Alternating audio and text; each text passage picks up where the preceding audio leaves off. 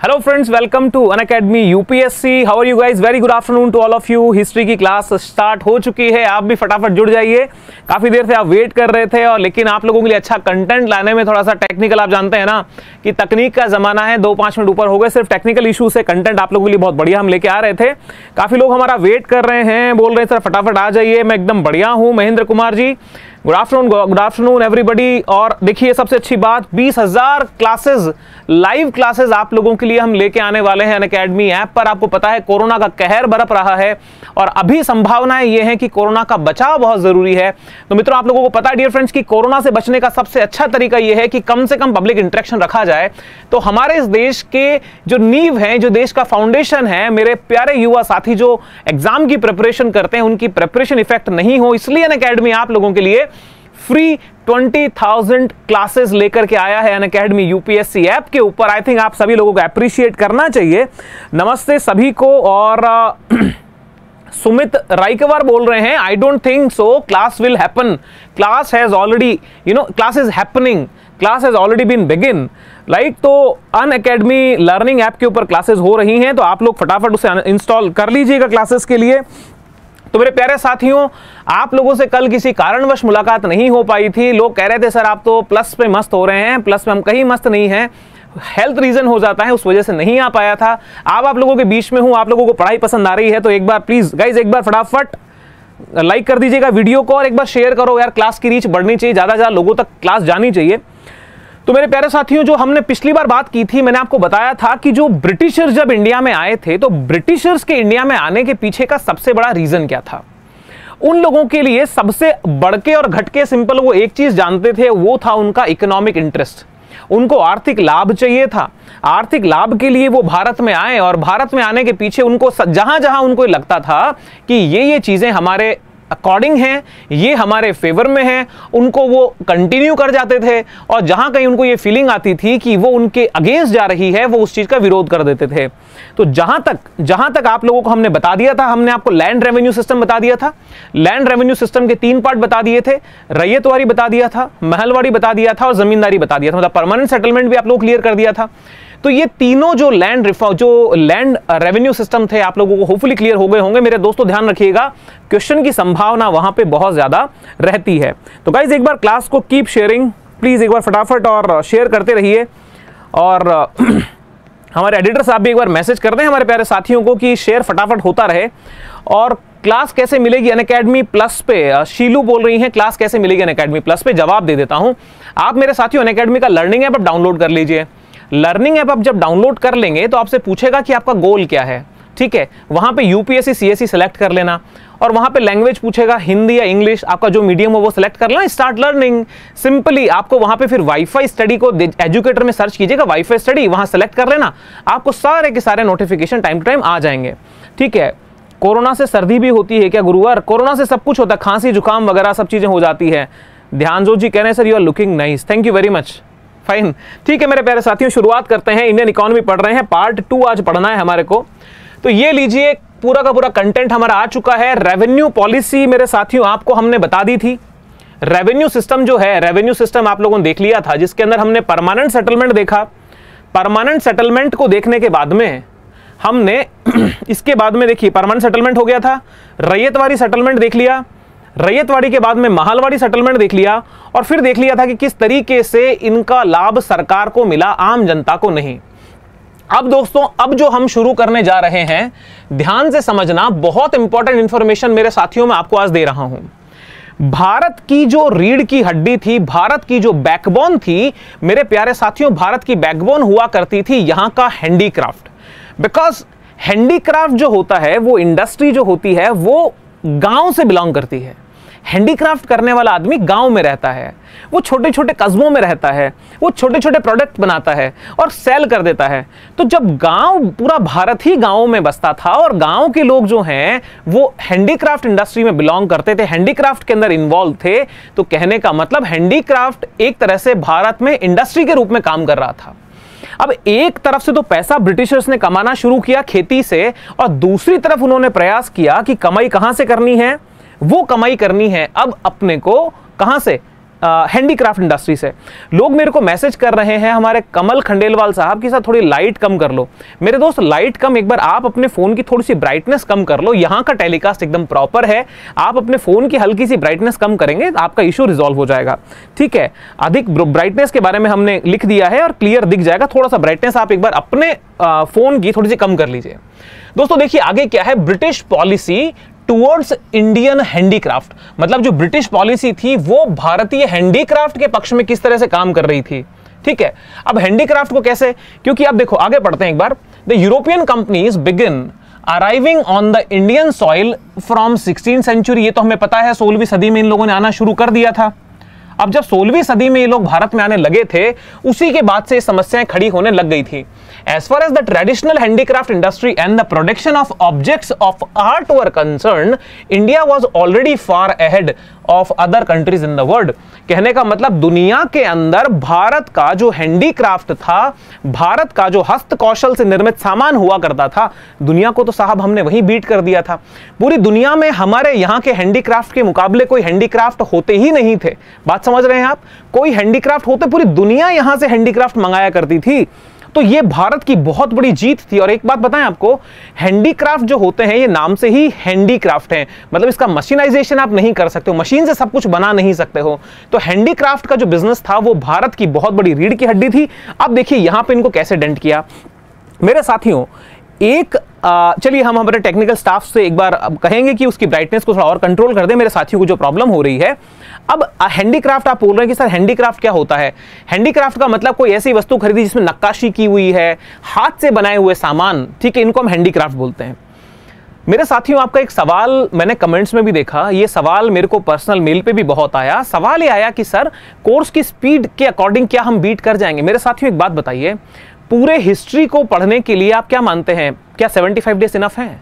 यहाँ पे हम एग्ज़ाम ओरिएंटेड पढ़ रहे हैं, यहाँ पे हमको बीए एमए या पीएचडी नहीं करनी है। हमने जो एनालिसिस किया है, वो एनालिसिस ये है कि जिस पोर्शन से मैक्सिमम क्वेश्चन आते हैं, हम वहाँ पे पूरा फोकस रखेंगे और इंपॉर्टेंट इंपॉर्टेंट चीज़ों को कवर करते चलेंगे कि आपके अधिकतम सवाल यहाँ से कवर हो जाए। बात समझ रहे हैं? इसलिए धैर्य रखिए, आप थोड़ा सा पेशेंस रखिए और चीज़ों को आगे हम धीरे धीरे बढ़ा देंगे। आगे देखिए, यहाँ तो साफ़ लिखा है कि दुनिया की यदि तुलना हम करें तो भारत तो बहुत आगे खड़ा था। पहला कौन सा आता है? टेक्सटाइल। देखिए the textile were the most important among the Indian industry सबसे ज़्यादा महत्वपूर्ण यदि कुछ था तो भारत का टेक्सटाइल उद्योग था। दूसरा the cotton silk and woollen products were sought after all over the world कहने का मतलब आपके सूती वस्त्र देख लीजिए, आपके जो सिल्क के रेशमी वस्त्र देख लीजिए, या आपके जो ऊनी वस्त्रों का उद्योग था मेरे साथियों, पूरी दुनिया के अंदर भारत का बहुत बड़ा नाम इन उद्योगों के पीछे चल रहा था। देखिए कहाँ कहाँ पे हम जीत में थे? Particularly the muslin of Dhaka carpets of Lahore shawls of Kashmir and embroidery works of Banaras were famous ये आपके आर्ट एंड कल्चर में आप लोगों को समझना होगा कि कहाँ पे कौन कौन सी चीज़ थी जो बहुत ज़्यादा फ़ेमस थी। ठीक है? फ़ेमस का हम आइटम के आपको नाम बता रहे हैं। मलमल मसलिन मतलब होता है मलमल। ढाका की मलमल के बारे में कहा जाता है कि जो उसका एक बहुत बड़ा थान होता था मतलब एक बहुत बड़ी मतलब मलमल का कपड़ा, उसको यदि हम फोल्ड करोगे तो एक मैच बॉक्स में एक माचिस की डिबिया में उसको समेटा जा सकता था। तो उसका फाइन वर्क देखिए, उसकी क्वालिटी देखिए कितनी होती होगी। कारपेट कहाँ के प्रसिद्ध थे दोस्तों? लाहौर के। शॉल कहाँ के थे? कश्मीर के। और एम्ब्रॉयडरी वर्क मतलब जो कसीदाकारी का जो कार्य होता है, वो बनारस का बहुत फ़ेमस था। Ivory goods wood works and jewellery were other widely sought after Indian commodities मतलब आइवरी वुड आइवरी वर्क समझते हैं। हाथी दांत पे जो काम होता था। हाथी दांत का काम, लकड़ी पे नक्काशी का काम ज्वेलरी का काम, ये पूरी दुनिया में भारत के बड़े फ़ेमस थे। आगे देखिए सर, क्या और आ रहा है? नेक्स्ट है dhoti and dupatta of Ahmedabad chikan of Lucknow and silk borders of Nagpur had earn a world wide fame कहने का मतलब धोती दुपट्टा कहाँ के फ़ेमस थे? अहमदाबाद के फ़ेमस थे। चिकन वर्क चिकन वर्क का मतलब ये कुकड़ू वाले चिकन से नहीं है। ठीक है, बहुत से लोगों को कुछ फील हो रहा होगा। तो ये कुकड़ू वाला चिकन नहीं है। चिकन वर्क कपड़े के ऊपर एक प्रकार की डिज़ाइनिंग पैटर्न होता है। ये लखनऊ का बहुत फ़ेमस है चिकन वर्क ठीक है? तो लखनऊ का चिकन वर्क और सिल्क बॉर्डर जो होती है, ये नागपुर की पूरी दुनिया के अंदर फ़ेमस थी। देखिए for their silk products some small towns in Bengal besides Malda and Murshidabad were very famous तो मालदा आप लोगों को पता ही है, मालदा में अभी दंगे कुछ समय पहले हुए थे। ये स्थान चर्चा में आया था। तो कुल मिला करके ये हमारे को इंफॉर्मेशन मिल रही है कि भारत का जो हैंडीक्राफ्ट था, वो कमो बेस बहुत मज़बूत स्थिति में था। भारत की एजुकेशन बहुत मज़बूत स्थिति में थी। उन सब चीज़ों पर हम आएँगे। देखिए लैंड रेवेन्यू सिस्टम हम अच्छी अवस्था में थे। लैंड रेवेन्यू सिस्टम को बर्बाद कर दिया। एजुकेशन में हम बहुत आगे थे एजुकेशन सिस्टम बर्बाद कर दिया। इसके बाद यदि हम देखें तो हम लोगों ने जो हमारा चलिए आप लोगों की हेल्प कर देते हैं। एक बार हम टेक्निकल स्टाफ से बात कर लेते हैं कि एक बार इसकी ब्राइटनेस को यदि थोड़ा वो कम कर पाए तो आप लोगों की मदद हो जाएगी। हम कोशिश करते हैं कि टेक्निकल स्टाफ से यदि कोई है तो एक बार हमारे पास आ जाएँ। टेक्निकल स्टाफ से समबडी इज़ देयर तो एक बार ये टेक्निकल स्टाफ हमारे पास में आ जाएँगे तो वो इसकी आपको हेल्प कर देंगे। चलिए, हमने कॉल कर दिया है, बहुत जल्दी आपकी इस प्रॉब्लम का भी सॉल्यूशन हो जाएगा। तो दोस्तों, एक बार बोर्ड पे से नज़र हटाइए, आप हमें देखिए और इतना मुझे बताइए कि क्या आपको ये पैटर्न क्लियर हो रहा है? कि जो भारत जो था अंग्रेज़ों के टाइम का इट वॉज़ मच प्रॉस्परस मतलब वहाँ पे कमियाँ नहीं थी, कमजोरियाँ नहीं थी, कमजोरियाँ लाई गई हैं भारत को, क्योंकि जो कॉलोनियल इकोनॉमिक फिलॉसफी है कॉलोनियल इकोनॉमिक जो पॉलिसी है, उसकी वजह से यहाँ पर हमारे को डेंट हुआ था।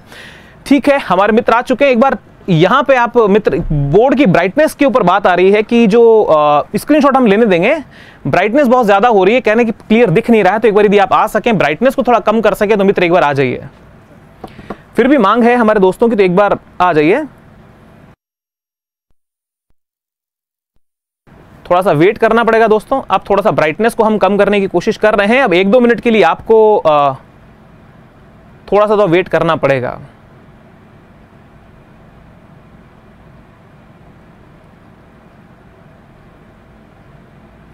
ठीक है तो थोड़ा सा है पेशेंस थोड़ा सा आप सही कर रहे हैं। ग्रीन बोर्ड रखिए। ग्रीन बोर्ड भैया ये पीडीएफ है। पीडीएफ में ग्रीन बोर्ड हम यूज़ नहीं कर सकते हैं।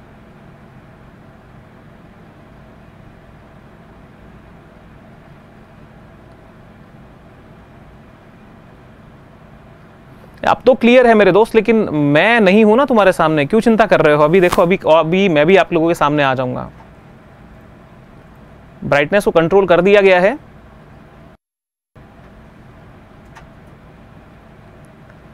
विजिबल हो गया है सर ठीक है दोस्तों तो अब उम्मीद कर रहा हूँ पहले से बेटर आप लोगों को दिख रहा होगा। परफेक्ट है। तो अब देखिए, अब हम भी आपके सामने आ जाते हैं फटाफट। ठीक है, अब देखो क्लास को हम स्टार्ट कर रहे हैं। तो मेरे साथियों, एक बार यदि आप स्क्रीनशॉट की बात करें तो टाइम आपको इनफ मिल गया स्क्रीनशॉट ले लिया होगा आप लोगों ने कि किस तरीके से हम हिंदी में, मेरे भाई, मैं आपको निर्मल कुमार जी कल भी बहुत रिक्वेस्ट कर चुका हूँ। हिंदी के लिए इतना रिक्वेस्ट ना करिए। मैं सब कुछ हिंदी में बहुत बेहतर तरीके से समझा रहा हूँ, ठीक है? तो यदि पहले से क्लियर आप लोगों को कुछ दिखा है तो आप हमें हिंट कर दें। और ठीक है, अब देखो, अब जैसा है, अब इसी को कंटिन्यू करते हैं, कल से और बेटर कर लेंगे। अब मेरे साथियों, इसके स्क्रीनशॉट आप लोगों ने ले लिया होगा। तो अब ये बात समझ में आ गई कि भारत का जो इकोनॉमिक स्ट्रक्चर था इट वॉज़ परफेक्ट समहाउ बहुत सही तरीके से था अच्छा चल रहा था, अंग्रेज़ों ने बर्बाद किया। अब मेरे साथियों, अब हम देखो बात करते हैं क्या। इसको थोड़ा सा आगे बढ़ाने की। अब ये जो है, ये घटना, कैसे हुई, कहाँ हुई, क्या हुई, यहाँ तक का स्क्रीनशॉट ले लिया होगा तो मैं पीडीएफ को ऊपर सेंड कर रहा हूँ। ठीक है, आगे बढ़िए। अब कहाँ कहाँ और क्या क्या फ़ेमस था, वो भी देख लेते हैं साहब। कौन सी बड़ी बात है? लीजिए। आगे देखो क्या क्या लिखा हुआ है। Similarly Kashmir Punjab western Rajasthan were famous for their woollen garments मतलब ऊनी वस्त्रों के लिए एरिया फ़ेमस था। बिसाइड टेक्सटाइल टेक्सटाइल के अलावा देखो इंडिया में क्या क्या फ़ेमस था। भारत का जो जहाज़ रानी उद्योग है मतलब जो शिपिंग इंडस्ट्री है it was also very famous ठीक है? शिपिंग इंडस्ट्री बहुत ज़्यादा फ़ेमस था। ठीक है बेटा? अब भाई देखो, आप लोगों ने जो कराया, वो ज़्यादा हो गया, आप कुछ नहीं कर सकते, आप थोड़ा सा पढ़ लो, सुन लो, समझ लो। ठीक है? शिपिंग इंडस्ट्री लेदर मतलब चमड़ा उद्योग और मेटल इंडस्ट्री जो है मतलब जो धातु का उद्योग था, वो भी अपने चरम पे चल रहा था। Indian fame as an industrial economy rested in cutting of polishing of the marble and other precious stone carving and ivory and sandalwood. कहने का मतलब हम लोग संगमरमर मतलब मार्बल की जो नक्काशी होती थी मार्बल पे जो तैयारी की जाती थी, उसको फिनिशिंग किया जाता था, वो भी बहुत यूजफुल होता था। पॉलिशिंग और हाथी दांत की कार्विंग हाथी दांत के ऊपर नक्काशी का काम और चंदन की लकड़ी का काम भी बहुत फ़ेमस था। Moradabad and Banaras were famous for its brass copper and bronze utensils utensil का मतलब होता है, मेरे दोस्तों, बर्तन। तो कहाँ पे क्या था? मुरादाबाद और बनारस जो थे, मुरादाबाद और बनारस, ब्रास मतलब होता है आपका पीतल। ठीक है? कॉपर मतलब तांबा, ब्रॉन्ज मतलब आपके जो धातु होते हैं, इनके जो बर्तन हुआ करते थे, उसके लिए ये फ़ेमस था। तो मोटी बात हम क्या कर रहे हैं? नासिक हो गया, पूना हो गया, Hyderabad, Tanjore were famous for its metal work Kutch, Sindh, Punjab, known for manufacturing arms. इसके बाद में कोल्हापुर, सतारा, गोरखपुर, आगरा चित्तूर चित्तौड़, चित्तूर हो गया, पहलघाट हो गया। Likewise earn a reputation for their glass industry तो मेरे साथियों, यहाँ पर बहुत तरीके से कुल मिलाकर के बात यह है कि हिंदुस्तान की जो अर्थव्यवस्था थी, वो बहुत मज़बूत स्थिति में आ चुकी थी। अब अंग्रेज़ों ने करना क्या शुरू किया, ये देखो। बात यह है कि Indian industry had begun to decline after beginning of 18th century there were many reasons for it listed below. Bharat की तो जो अर्थव्यवस्था थी मेनली वो बहुत सही चल रही थी। अब बर्बादी कहाँ से होना शुरू होती है? बर्बादी होना शुरू होती है हमारे आ, ब्रिटिश काल से। अब हमारे मित्र ये कह रहे हैं कि सर आप जब टेक्निकल टीम वालों ने और गड़बड़ कर दिया तो ब्राइटनेस को थोड़ा मेंटेन करो सर क्योंकि हमारे प्यारे बच्चे पढ़ रहे हैं और उनकी पढ़ाई में कोई तकलीफ़ अच्छा नहीं लगेगा सर।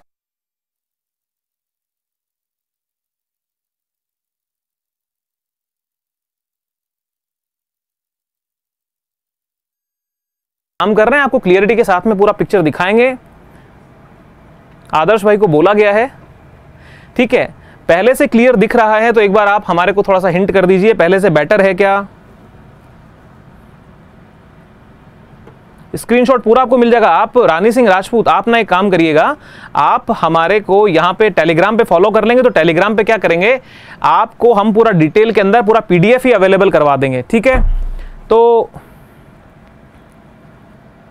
अब क्लियर दिख रहा हो तो यार थम्स अप बनता है भाई। क्लियर दिख रहा है तो एक बार बताइए। बेटर देन लास्ट क्लियर दिख रहा है क्या सर अब सही है। अब तो देखे जाओ भाई, अब देखो, अब टाइम खराब मत करो। बोल रहा है कि द इंडियन हैंडीक्राफ्ट का जो उद्योग था, ये बर्बाद कब से शुरू हुआ? जो इतनी चीज़ें हमने बताई कि ढाका की मलमल थी और बंगाल का कोई फ़ेमस बहुत कुछ चीज़ें हमने फ़ेमस बताई हैं। अब देखो तो यहाँ पर क्या हुआ है कि अंग्रेज़ों के आने के बाद में बर्बादी कैसे शुरू हुई? रीजन बताए गए हैं इंपॉर्टेंट दोस्तों, होता क्या है कि जो प्री में आप लोगों के सवाल बनेगा ना क्वेश्चन में क्या करेगा? पर्टिकुलर आइटम दे देगा और पर्टिकुलर प्लेस बोल देगा कि जो पर्टिकुलर जो जगह है, वो वहाँ पे किस जगह मतलब कौन सा स्थान है जो उसको मैच कराने को दे देगा।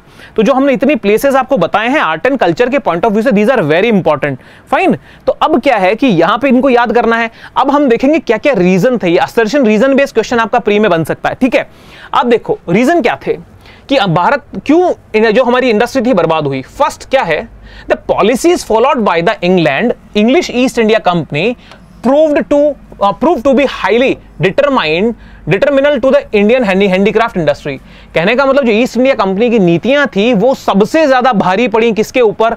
भारत के हस्तशिल्प उद्योग के ऊपर हस्त कौशल उद्योग के ऊपर। ठीक है? आ, शिवम बोल रहे हैं बार बार भाई अब जवाब नहीं दूँगा। हिंदी के लिए मैं आप लोगों को बोल रहा हूँ कि यार मैं हिंदी में सब कुछ बोल रहा हूँ, आप ध्यान से सुनो। कंटेंट इंग्लिश में आपको मिल रहा है यहाँ पे। The Indian market was flooded with the cheap finished good from Britain मेरे साथियों, इसको मैं वेरी वेरी वेरी इंपॉर्टेंट का दर्जा दे रहा हूँ। इस लाइन को गौर से सुन लीजिएगा और समझ लीजिएगा। बात क्या कही जा रही है? बात यह कही जा रही है कि सस्ता सामान cheap finished good from Britain आप कहें तो इसको मैं थोड़ा और बड़ा कर सकता हूँ आपके लिए कि आपको क्लियरिटी के साथ में सब कुछ दिखे। अब आप देखिए, क्या लिखा? भारत से सूत उठाया, कपड़ा यहाँ से उठाया, और कपड़ा लेकर के कहाँ चले गए? ब्रिटेन चले गए। ब्रिटेन जाने के बाद में वहाँ पे उस सॉरी कपड़ा नहीं, सूत, जो कॉटन होता है कॉटन को क्या किया? फिनिशिंग गुड्स में बना दिया। अब एक बात बताइए साहब मशीन से बना हुआ कपड़ा और हाथ से बने हुए कपड़े में अंतर तो होगा ही। मशीन से बने हुए कपड़े की क्वालिटी में और हाथ से बने हुए कपड़े की क्वालिटी में अंतर तो होगा ही। और मशीन से बनी हुई चीज़ जो बल्क में प्रोडक्शन होता है, उसकी रेट तो सस्ती होगी ही। तो यहाँ से क्या हुआ? कच्चा माल भारत से उठाया, विदेश मतलब इंग्लैंड ले गए। इंग्लैंड की फैक्ट्रियों में उससे कपड़ा बनाया और वहाँ से कपड़ा ला करके फिर से ला करके भारत में बेच दिया।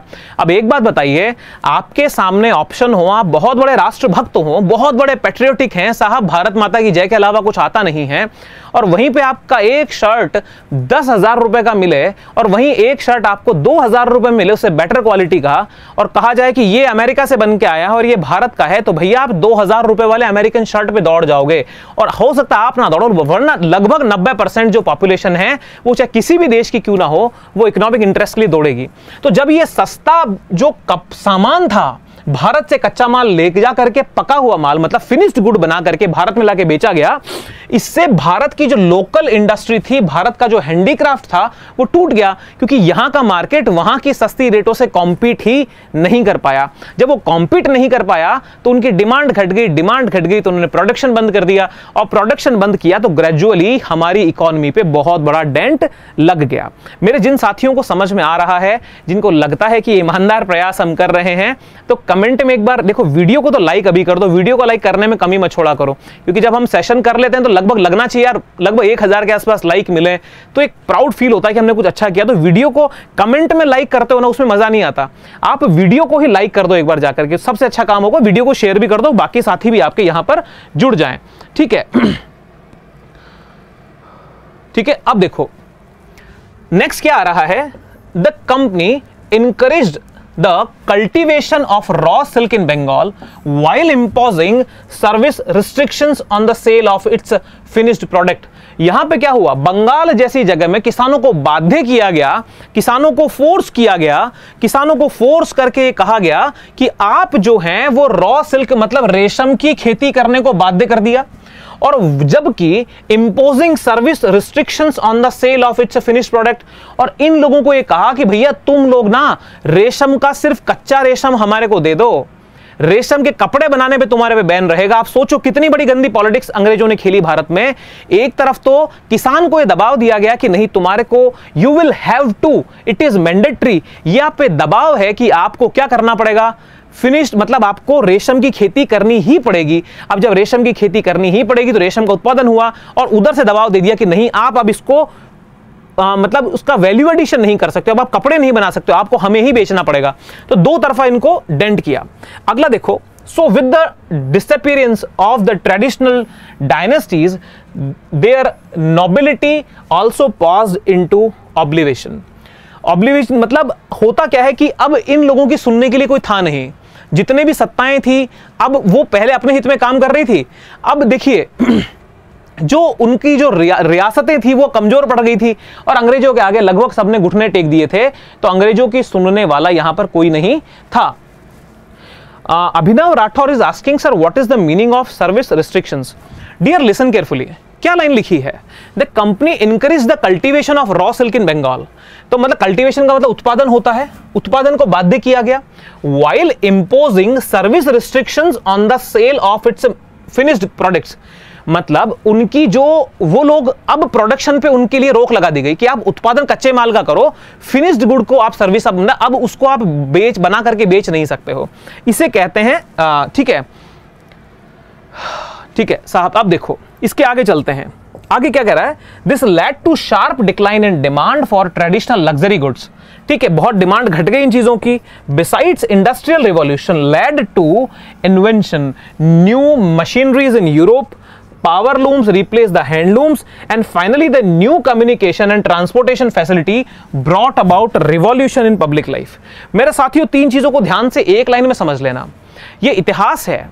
अब हिस्ट्री को यदि आप ये समझते हो ना कि यार ये फैक्ट हैं, केवल तथ्यों से रट लेना, वैसे काम नहीं चलेगा। अंडरस्टैंडिंग डेवलप करनी है। विल हैव टू रिलेट को relate the things now we are starting Sonu Kumar, हमारे टेलीग्राम चैनल के ऊपर आपको इसका पीडीएफ मिल जाएगा। पहली बार क्या कह रही है? कि जैसे इनकी डिमांड गिरी तो उस टाइम क्या हो रहा था? औद्योगिक क्रांति हुई। इंडस्ट्रियल रिवॉल्यूशन और औद्योगिक क्रांति आपके जीएस का जो पेपर वन है जीएस पेपर वन के अंदर आपकी वर्ल्ड हिस्ट्री के टॉपिक का एक मेन टॉपिक है इंडस्ट्रियल रिवॉल्यूशन कभी उसको डिटेल में पढ़ाएँगे? जब आप प्री क्वालिफाई कर लेंगे उसके, उस टाइम पे। तो इंडस्ट्रियल रिवॉल्यूशन ने और ज़्यादा डेंट किया क्यों? क्योंकि नई मशीनें वहाँ पे बनना शुरू हो गई थी। अब मशीनें जब बनेंगी, यार एक बात बताओ, एक काम को दस मजदूर जो करते हैं पूरे दिन में, एक जेसीबी आकर के एक से दो घंटे में उस काम को पूरा निपटा देती है। तो वो जेसीबी ने उन दस लोगों के पूरे दिन के रोज़गार पे चोट पहुंचाई कि नहीं पहुंचाई? तो जैसे ही औद्योगिकरण यूरोप में शुरू होता है इंडस्ट्रियलाइजेशन शुरू होता है तो नई मशीनरियाँ बनना शुरू हुई और मशीन जो होती है, वो हमेशा रोज़गार को खत्म करती है, ये बात आपको समझनी होगी। इसके बाद में दोस्तों देखिए पावर लूम्स रिप्लेस हैंडलूम्स जब मशीनें आ गई तो कपड़ा बनने के लिए भी पावर लूम लगने लगे। और हैंडलूम जिसे हाथ से कारीगरी करके कपड़ा बनता था, जैसे खादी में बनता है, वो खत्म होता चला गया। Finally the new communication and transport मतलब संचार की नई व्यवस्थाएँ बनी ट्रांसपोर्ट फैसिलिटी आई, उन्होंने क्रांति सी भारत में ला दी, जिससे कि जो स्थानीय उद्योग था, वो लगभग ठप पड़ गया। ठीक है, अब आप देखिए यहाँ तक की सारा सीन समझ में आ रहा है। मतलब मैं थोड़ा सा, देखिए, मेरी क्लास में कॉन्सेप्ट के ऊपर फोकस रहेगा, इसलिए मैं थोड़ा स्लो चलता हूँ। बाकी कोर्स होगा, ये मेरी गारंटी है, सवाल मिलेंगे, मेरी गारंटी विश्वास करके चलना, डरना नहीं है। अब मुझे बताइए कि जहाँ से हमने शुरू किया था कि ब्रिटिशर्स जब भारत में आए तो भैया सेवा करने तो नहीं आए होंगे। उनकी एक थेरी चलती है व्हाइट मेन्स बर्डन मतलब श्वेत प्रजाति पर भार, ठीक है? वो लोग ये मानते हैं कि जो हम गोरी चमड़े वाले लोग हैं, इनके ऊपर एक भार है, एक प्रेशर है कि हम लोगों को बाकी दुनिया को सिविलाइज करना है। और सिविलाइज करने के चक्कर में हमने क्या किया? वो लोग भारत में आए और नाम तो किया सेवा का और भारत को बर्बाद करके चले वो दुनिया को उन्होंने लूटा है, ठीक है? तो ये श्वेत ये जो श्वेत भार का सिद्धांत या व्हाइट मेन्स बर्डन था, इसी के चक्कर में भारत में आए। पहले भारत के लैंड रेवेन्यू सिस्टम को डैमेज किया, उसके बाद में भारत के हैंडीक्राफ्ट को इन्होंने यहाँ तक डैमेज कर दिया। तो हैंडीक्राफ्ट तक का सीन आप लोगों को उम्मीद करता हूँ क्लियर हो गया होगा। जिन लोगों को क्लियर हो गया है वीडियो को लाइक कर दें, ना कि कमेंट सेक्शन में थम के बटन लगाएँ। वीडियो को लाइक कर देना, ठीक है?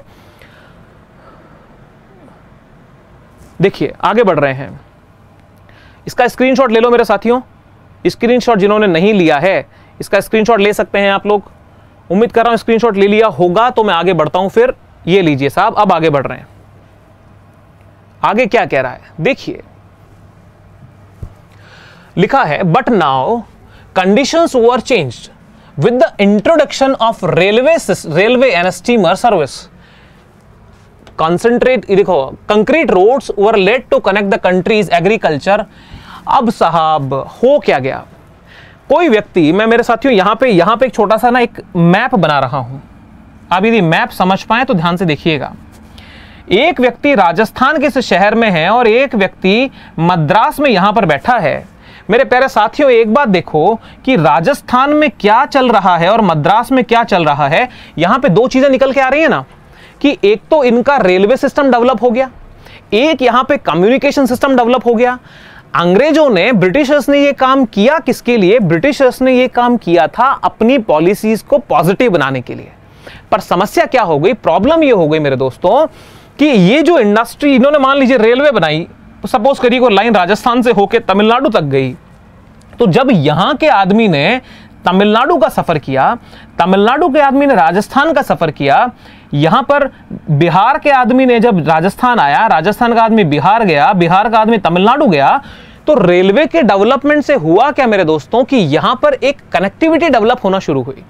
और जब कनेक्टिविटी डेवलप होना शुरू हुई तो लोगों की सोच में एक क्रांतिकारी बदलाव आया। उन्होंने दुनिया को देखा और जो एक कुएँ के मेंढक वाली कंडीशन थी, वो लोगों की दूर हुई। उनको लगा कि यार, हमारी जैसी समस्याएँ हैं, वैसी समस्याएँ औरों की भी हैं। और जो समस्याओं से हम जूझ रहे हैं, इस समस्या का अल्टरनेट इन लोगों ने निकाला हुआ है। और उनकी समस्या का सुधार इन लोगों ने निकाला हुआ था। तो मेरे साथियों, यहाँ पे हो क्या रहा था कि जो अंग्रेज़ों ने अपने कॉलोनियल इंटरेस्ट के लिए जो डेवलपमेंट किए थे, वो कहीं ना कहीं जाकर के अंग्रेज़ों को ही डेंट करने लगे थे। तो मेरे प्यारे साथियों लाइन क्या लिखी है? लिखा है द कंडीशन वर चेंज बदल गई परिस्थितियाँ. कैसे? With the introduction of railways and steamer service steamer service मतलब जहाज़ की सेवाएँ चलने लगी थी, नदियों में भी चलने लगे थे, लोग कनेक्शन मतलब कनेक्टिविटी ट्रांसपोर्टेशन के माध्यम से लोग जुड़ने लगे थे। अब जब बोलते हैं ना कि संबंध होना बड़ी बात नहीं है संपर्क होना बड़ी बात है। आपके बहुत से रिलेटिव मेरे साथियों ऐसे होंगे जिनसे आपका संबंध है पर आपसे यदि संपर्क नहीं है तो संबंधों में जान नहीं होती है। इसलिए संबंध जितना ज़रूरी है, उससे ज़्यादा संपर्क ज़रूरी होता है। और यहाँ पर क्या हुआ, रेलवे और स्टीमर ने भारत में संपर्क की क्रांति ला दी, लोग संपर्कों से जुड़ने लगे। ठीक है, अब यहाँ पर जो यूपीएससी के सीरियस एस्पिरेंट है, उनको तो एकदम टिक करके कहानी समझ आ रही होगी। और बाकी कोई यहाँ पे अगर माइग्रेटरी बर्ड्स आए हुए हैं, कोई और प्रांत मतलब किसी और एग्जामिनेशन के, उनको लगेगा कि इतिहास को ऐसा, भाई हम ऐसा ही पढ़ाते हैं। ठीक है? तो ये हो गया और दूसरी बात क्या हो गया कि एग्रीकल्चर इनहार्ट लैंड तक भी मतलब खेत, जो किसानों के गाँव थे, वहाँ तक भी लोगों के पास में अब जानकारियाँ पहुँचने लगी। ठीक है, अब देखो आगे क्या होता है। आगे देखिए एजुकेशन एंड सोशल रिफॉर्म्स मेरे प्यारे साथियों, शिक्षा की क्रांति तक मैं जाऊँ, उसके पहले एक बात बता देना चाहूँगा। बात यह है कि जो आपका जो हैंडीक्राफ्ट को डेंट करने का या हैंडीक्राफ्ट को क्या बोलते हैं उसको, खत्म कर हैंडीक्राफ्ट को खत्म करने के प्रयास हुए। उस क्रम में क्या था कि इन्होंने जगह जगह पे अपनी प्रोडक्शन यूनिट लगा लिए। अब प्रोडक्शन यूनिट लगा तो लिए, अब प्रोडक्शन को यहाँ से वहाँ भेजने के लिए ट्रांसपोर्टेशन की भी ज़रूरत पड़ेगी। आप देखो कि सन 1921 1921 में हो क्या रहा था? 1921 में पाकिस्तान में के जो इलाकों के अंदर रेलवे की पटरी बिछाने का काम हो रहा था, रेल लाइनें बिछ रही थी। अब रेलवे जब बन रहा था तो रेलवे को बिछाने क्रम में जब खुदाई हुई तो लोगों को ईंटें मिल गई वहाँ पे मजदूरों को। ईंटों, मजदूरों को खुशी हो गई कि यार अब ईंटों को यहाँ से वहाँ लाना नहीं पड़ेगा। उन्होंने उन्हीं ईंटों को लगा करके रेलवे लाइन बनाना शुरू किया। ठीक है तो वहाँ पे 1921 में, ठीक है, दया राम साहनी, एंशंट इंडिया में, प्राचीन भारत में आप पढ़ेंगे ये, जब हम आपकी क्लास कभी करवाएँगे, दया राम साहनी जी को ये मालूम चला कि भैया यहाँ तो हड़प्पा सभ्यता है। और हड़प्पा सभ्यता की वजह से ये क्या होगा? यहाँ तो नया का नया, पूरा का पूरा सिविलाइजेशन निकलेगा। तो मेरे साथियों, एक बात बताइए ट्रांसपोर्टेशन के डेवलपमेंट के क्रम की वजह से ही तो हमारे को हड़प्पा सभ्यता निकल करके सामने आई, वरना शायद आज तक दबी रहती। तो ना सिर्फ़ रेलवे के डेवलपमेंट ने इंडिया को कनेक्ट किया, बल्कि अंग्रेज़ों के लिए एक बहुत बड़ा नेगेटिव एक नासूर बो दिया कि अब उनका क्या होगा? देश में उनका टिकना मुहाल हो गया था। उम्मीद कर रहा हूँ समझ में आ गया।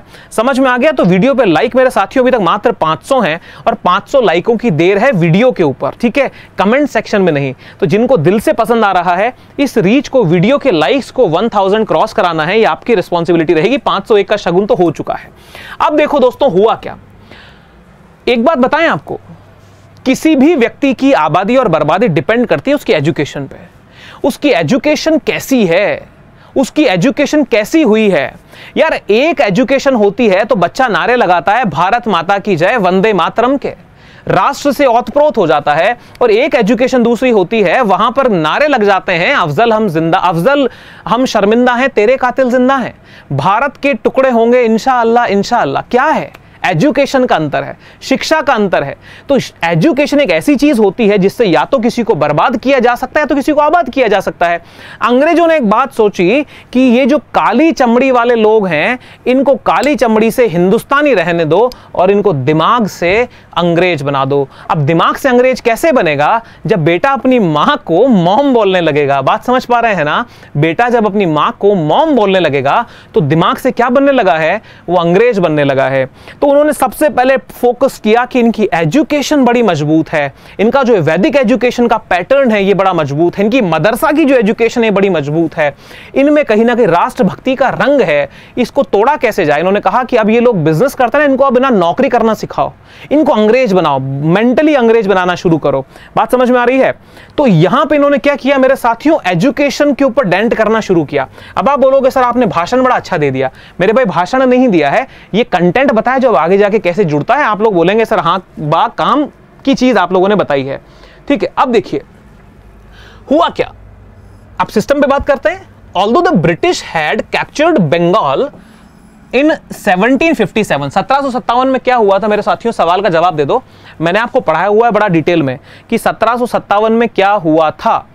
अंजलि जी, हम स्टार्ट करेंगे बहुत जल्दी। 1757 में क्या हुआ था, मैं आपके रिप्लाई का वेट कर रहा हूँ, मुझे बताइए।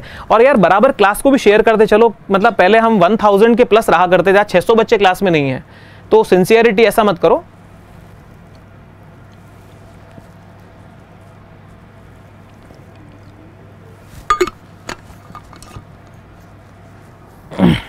रिप्लाई नहीं आ रहा सर रिप्लाई देंगे आप लोग? सत्रह में क्या हुआ था? प्रदीप कुमार का पहला हमारे पास आंसर आया है, बैटल ऑफ़ प्लासी। तो मेरे साथियों, बाकी लोग सो गए थे क्या? क्या हमने आपको बताया नहीं था? इतना लेट आप रिप्लाई कर रहे हो। तुरंत जवाब आना चाहिए। अच्छा 1764 में क्या हुआ था? यार, मुझे लगता है इसका मतलब मेरे को आपके साथ में एमसीक्यू की सीरीज़ भी लानी पड़ेगी। मॉडर्न इंडिया की एमसीक्यू सीरीज़ एक मैराथन कर दें आप लोग, बोलो तो। ठीक है? मैराथन कर दें क्या? मुझे मुझे थोड़ा सा, मुझे अच्छा नहीं लगा भाई। जवाब लेट आया। बैटल ऑफ़ प्लासी होता है। अब मुझे बताओ एमसीक्यू की क्लास करनी चाहिए कि आप लोगों को लगता है एमसीक्यू की क्लास कर दें? मज़ा आएगा आप लोगों को? कितने लोग लाइव रहेंगे उस क्लास में? हाँ तो बड़ा बोल रहे हो आप।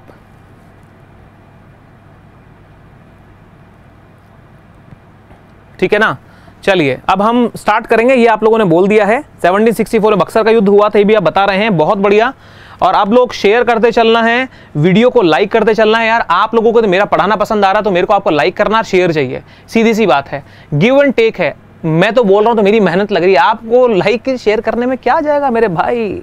ठीक है, जियो और जीने दो। फाइन अब हम शुरू कर, चलो इसके बारे में बाद में बात करते हैं, क्या करना है। अब देखो, सत्रह सत्तावन के अंदर तो ऑलरेडी आ गए थे, और सत्रह में बक्सर के युद्ध के बाद तो पूरी तरह से डोमिनेंट हो गया था इनका। देखिए yet the responsibility of imparting education education remained only in Indian hands. मतलब ये बोला गया कि सत्रह इवन सत्रह तक भी अंग्रेज़ जब भारत में आ गए थे, तब तक भी भारत में शिक्षा का जो अधिकार था ना, वो कहीं ना कहीं इंडियंस के पास ही था। भारतीय लोग ही मैनेज करते थे। भारतीय लोग ही मैनेज करते थे अपनी शिक्षा को और भारतीय लोग ही अपने अकॉर्डिंग एजुकेशन को चला रहे थे। आगे देखते हैं, देखो आगे क्या होता है। आगे कह रहा है the study of ancient texts written in Arabics Persian and Sanskrit still continued कहने का मतलब भारत के जो प्राचीन ग्रंथ थे, जो कि अरबी भाषा में लिखे पर्शियन में लिखे मतलब जब मुगल पीरियड सल्तनत काल चला तो अरबी भाषा और आपकी पर्शियन भाषा का ज़ोर बढ़ गया था। और पुराने जो हमारे ग्रंथ हैं, मेरे दोस्तों, वो संस्कृत में मिल नहीं थे। अब देखो हुआ क्या? इन 1781 1781 में क्या होता है? ये 1781 है कंफ्यूज नहीं होना है। इन 1781 नाम हाईलाइट करके लिख लो। मेरे साथियों, में इसका पेन का कलर बदल लूँ तो मेरे को लगता है ज़्यादा और अच्छा होगा। वारेन हेस्टिंग्स तो क्या किया वॉरेन हेस्टिंग ने? वॉरेन हेस्टिंग ने थोड़ी सी चाल चली। अब Warren Hasting established a madrasa in Calcutta Calcutta to encourage the study of Muslim law along with the Arabic and Persian language तो सबसे पहले देखो, शुरुआत जो एजुकेशन की होने लगी थी, ये शुरुआत एजुकेशन की की किसने थी? लॉर्ड वॉरेन हेस्टिंग ने 1781 में एक मदरसा स्थापित किया कलकत्ता में। और क्यों किया? कि वो मुस्लिम कानून के अध्ययन करना चाहता था along with the Arabic and Persian language के लोग ये जाने। चलिए शुरुआत हुई, इसके बाद में क्या होता है?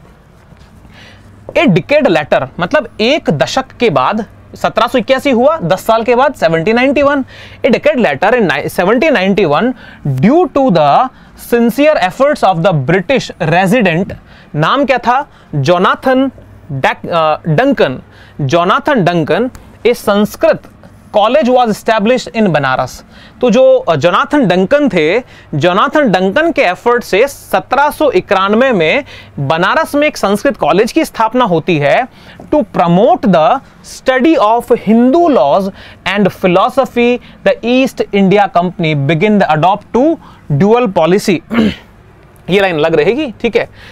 अब हुआ क्या? कि 1781 में तो वॉरेन हेस्टिंग ने मुस्लिम लॉ और अरबी और इन भाषाओं को पढ़ने के लिए यहाँ पे इन्होंने प्रयास किए।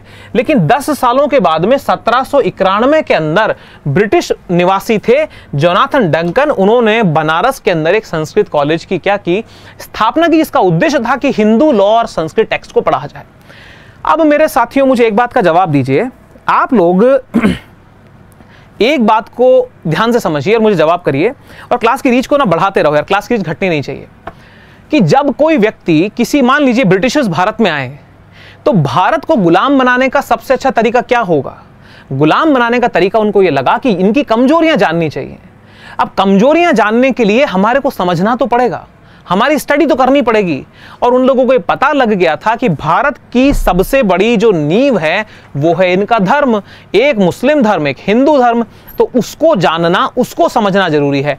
यहाँ पे दुनिया को दिखा रहे थे कि ये भारत की जो आ, इनकी ओरिएंटल एजुकेशन है उसको बढ़ाना चाहते हैं लोकल एजुकेशन को बढ़ाना चाहते हैं। बट वो कहीं ना कहीं अपने औपनिवेशिक उद्देश्य अपने कॉलोनियल जो इनके इंटरेस्ट था उसको पूरा करने में आगे लगे हुए थे।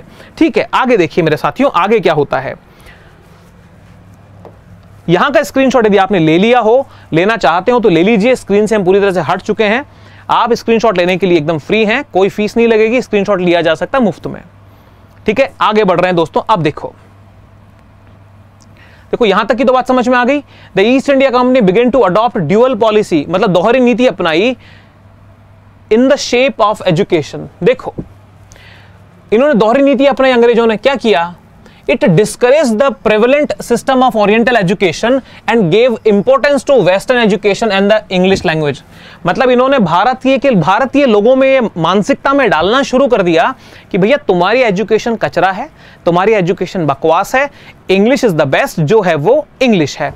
ठीक है, अब यहाँ पे डिबेट मत करना कि सर मटेरियल फिर तो हिंदी में दे दो। भाई, जो उपलब्ध है, मैं वही लेकर के आ रहा हूँ। ठीक है? और यहाँ पे ये बात तो आप लोगों के सामने आ चुकी है और अभी की मांग है अंग्रेज़ी तो पढ़ना पड़ेगा। देखो, अब इन्होंने क्या क्या? किया पहला, ये सवाल 2019 के प्री में मेरे साथियों आ चुका है। ठीक है 2019 के प्रिलिम्स एग्जामिनेशन में ये क्वेश्चन आपको देखने को मिला है, ध्यान से देख लीजिएगा। ठीक है, अब देखो। सबसे पहला क्या किया? The charter act of 1813 adopted a provision to spend one lakh rupees per annum for the spread of education in India 1813 के चार्टर एक्ट में एक लाख रुपया खर्च करने का प्रावधान किया। उस जमाने का एक लाख रुपया बहुत बड़ा होता था कि भारत में एजुकेशन का डेवलपमेंट किया जाए। मित्रों, कौन सी एजुकेशन की बात हो रही है? एजुकेशन की बात हो रही है इंग्लिश लैंग्वेज मतलब वो चाहते थे कि भारतीयों को अब मानसिक रूप से क्या बना दिया जाए? अंग्रेज़ बना दिया जाए। बात समझ में आ रही है? इसके बाद में दूसरा क्या किया? Consequently not even a single rupee out of the allocated fund could be spend on education इन्होंने कह दिया कि भैया, इस एक लाख रुपए के ऊपर एक फूटी कौड़ी खर्च नहीं करेंगे। तो एक लाख रुपए का प्रावधान कब किया गया था? चार्टर एक्ट 1813 में। उम्मीद कर रहा हूँ समझ में आ रहा होगा। यदि आप लोगों को समझ में आ रहा है तो एक बार वीडियो का लाइक बनता है। पाँच लाइक है, एक एक हज़ार पार करना आपको आज। ठीक है, और अपने साथियों को भी बराबर जोड़ के रखिएगा। देखिए साहब, तीसरा क्या हो रहा है? The contemporary British scholar were divided into two groups of on the issue of development of education in India कैसे? One group called the orientalist advocated the promotion of oriental subjects through indian languages, or the another group called the anglicalistic. ठीक है?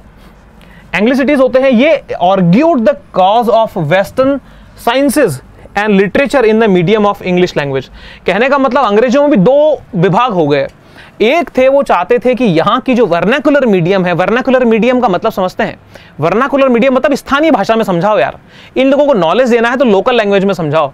और एक group था, नहीं, जो पढ़ाई होगी वो इंग्लिश में होगी। तो इनमें भी डाइवर्जन हो गया था। तो जो डाइवर्जन हुआ, इसका लाभ भारत को मिला था। ठीक बात है?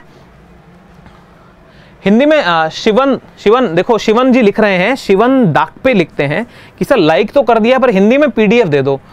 भाई लाइक कर दिया तो हिंदी का पीडीएफ उसको वापस से लाइक को हटा ले भाई डिसलाइक कर जा हिंदी का पीडीएफ मेरे पास नहीं है। हिंदी में पीडीएफ में आपको बोल बोल के थक गया इतना मैं प्रोनाउंसिएशन कर रहा हूँ इतना एक्सप्लेनेशन कर रहा हूँ इसी इसी कंटेंट को आधे में हिंदी चलाऊं आधे में इंग्लिश चलाऊं आप समझते हैं टाइम कितना कंज्यूम हो जाएगा? तो अच्छा कंटेंट जो उपलब्ध है मेरे भाई, मैं वो लेकर के आया हूँ। तो इसी के साथ आपको रहना पड़ेगा और मेरे पास जो है वो यही है। बार बार इसके ऊपर मेरे से आर्ग्यू मत करिए, मैं आपके सपोर्ट में खड़ा हूँ, हिंदी के ट्रांसलेशन प्रॉपर कर रहा हूँ, सब कुछ समझा रहा हूँ। फिर भी नहीं समझ में आया तो मेरी ये बात मान लेना, तुम पीटी क्वालिफाई कर लोगे, लेकिन मेन्स में कंपलसरी इंग्लिश का पेपर तुम्हारा अटक जाएगा, अगर इतने कमज़ोरी अंग्रेज़ी में रही तो। इसलिए इंग्लिश के लिए भाई मेरे दोस्त, इसको थोड़ा सा आप कंट्रोल करो। अब क्या हो गया? दो बातें तो सामने निकल के आ गई कि इनका बंटवारा हो चुका था। इसका स्क्रीनशॉट ले लो, फटाफट। स्क्रीनशॉट ले लीजिए सर, इसके बाद में थोड़ा सा हम और चीज़ों को आगे बढ़ेंगे। ठीक है स्क्रीनशॉट ले लिया होगा आपने, आगे बढ़ रहा हूँ। देखो सर, ये जो चीज़ आ रही है, इसके बाद में क्या होता है, ये देखो इन 1829 1829 में after assuming the office of the governor general of india lord william bentinck emphasized on the medium of english language in indian education in the beginning of 1835 the 10 members of the general committee of public instruction were clearly divided into equal groups ठीक है तो इनके group बंटवा दिए गए। क्या हुआ था बाद में बताएँगे। देखिए, लॉर्ड विलियम जो हमारे बेंटिक थे, ये जब गवर्नर जनरल बने तो इन्होंने बहुत क्लियर कह दिया कि अब एजुकेशन इंग्लिश में ही दी जाएगी। आप बात को समझ रहे हैं? पहले हमारी ज़मीन पे कब्जे किए, उसके बाद में हमारे हैंडीक्राफ्ट बिज़नेस को तोड़ दिया मतलब किसान की किसानी खत्म करी, गरीब का रोज़गार खत्म किया और उसके बाद में इन्होंने पहला काम क्या किया कि अब क्लियर कर दिया कि साहब, अब तो एजुकेशन जो है वो इंग्लिश में ही दी जाएगी। तो मेरे प्यारे साथियों, यहाँ तक का कंटेंट हमने आपको दे दिया है। आगे क्या कहानी है? आगे की कहानी डिटेल में आपसे फिर बात करेंगे। आपको यहाँ तक की क्लास में आप लोगों को मज़ा आया तो मुझको बताओ और फिर मैं आपको एक छोटा सरप्राइज़ देने के मूड में हूँ। ठीक है? छोटा सा सरप्राइज़ देने के मूड में हूँ। सरप्राइज़ कितने लोग लेना चाहते हैं, वो मेरे को बताओ और क्लास में बने रहना। सरप्राइज़ में मज़ा आएगा, ये अपनी गारंटी है। ठीक है? तो सरप्राइज़ कितने लोग लेना चाहते हैं? अब इतना सा हिंट कर दो बस मेरे को आप। लॉर्ड विलियम बेंटिक हमने आपको बता दिया है। चलिए, काफ़ी लोग इंटरेस्ट ले रहे हैं, बता दिया है इंटरेस्ट काफ़ी लोगों को आ रहा है। अब देखो कि यहाँ पे क्या क्या किस तरीके से किया गया था। ठीक है, अब सरप्राइज़ हम आपको दे रहे हैं, रिप्लाई आना अभी तक शुरू हुए नहीं है। क्या बात है? मज़ा तो आया, रिप्लाई सरप्राइज़ कितनों को चाहिए? रेडी चलो ये बता देते हैं। देखिए आप लोगों का जो पीटी एग्ज़ाम है मतलब प्री एग्ज़ाम 2020 प्री एग्ज़ाम 2020 में आप लोगों को हम क्या पढ़ा रहे हैं? History plus art and culture ये सेक्शन मैं पढ़ा रहा हूँ आपको। इससे आप लोगों को 20 सवाल मिलने की उम्मीद है पूरी पूरी अब मेरे साथियों, यहाँ पे आप पढ़ तो बहुत लेंगे, पढ़ तो बहुत लेंगे, पर प्रैक्टिस का क्या? तो बहुत जल्दी सेक्शन वाइज सबसे पहले हम मॉडर्न इंडिया मॉडर्न इंडिया के ऊपर प्रैक्टिस क्वेश्चन मतलब previous year question plus important test series वाले जो सवाल हैं एमसीक्यू मल्टी चॉइस क्वेश्चन जो होते हैं, उसके अंदर हम क्या करेंगे? आप लोगों का एक मैराथन सीरीज़ करेंगे, जिसमें हम लगभग 60 से 80 टॉप जो फ्रिक्वेंटली आस्क क्वेश्चन है, जो बार बार पूछे जा रहे हैं, उन सवालों को करने वाले हैं। तो आप लोग, मेरी उम्मीद ये है कि आप एकदम, बोलते ना, ठसक करके बैठिएगा क्लास में। और उन सवालों की फ्रीक्वेंसी में आपको बताऊँगा कि किस तरीके से क्वेश्चन बार बार बार बार बार बार रिपीट होते हैं। और ये वाले के अंदर आप लोगों को बहुत मज़ा आएगा और ये हमारा यूट्यूब पे ही चल रहा है। इसके साथ में एक इंफॉर्मेशन आप लोगों को और देते हैं कि जो लोग, सर, यहाँ पे एज में तो आप मेरे साथ में पढ़ रहे हो। यदि एज में आप लोगों को पढ़ के मज़ा आ रहा है ना तो ये मान लो ये इसके भी 21 उस पार भी कुछ है, वो दुनिया भी कुछ है, जो मेरे बच्चे वहाँ पे साथ में आना चाहते हैं, अन अकेडमी पे तो प्लस पे आप मेरे साथ में पढ़ सकते हैं एज 2020 अपना चल रहा है। आप लोगों को सब्सक्रिप्शन लेना है कोड याद रखना है, पारिक टेन पारिक टेन मतलब पार लगा दे, ठीक है? लिख रहा हूँ दोबारा से। तो भैया पारिक टेन कोड यूज़ करके अन अकेडमी का सब्सक्रिप्शन ले लो। आप लोगों को मेरे ख्याल में जो लोग आगे की तैयारी कर रहे हैं उनको 24 महीने का लेना चाहिए। पारिक टेन कोड यूज़ करके वैसे तो इसकी कीमत है 52,000 थी बाद में 48 किया गया। वर्तमान में आपको ये पड़ जाएगा मात्र तैयलीस हज़ार दो सौ रुपए का forty three thousand two hundred आप एक बार आके देखो पढ़ के देखो। और जो लोग ऑलरेडी पढ़ रहे हैं, उनके एक्सपीरियंस आप लोगों के साथ में कभी शेयर करता हूँ एक स्पेशल सेशन में। फिर आपको पता लगेगा व्हाट इज़ डिफरेंस राइट तो फिर मुलाकात करें आपके साथ में, जो लोग प्लस पे आना चाहते हैं, पढ़ना चाहते हैं, पारिक टेन कोड याद रखिएगा। पारिक कोड टेन है, पार लग जाएगी।